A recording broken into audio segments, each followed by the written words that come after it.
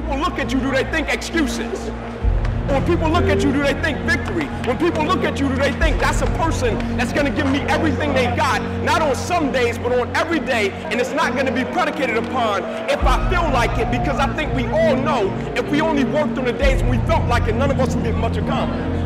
I'm talking about the real level of commitment, not the commitment that falls in line if everything goes right. Oh.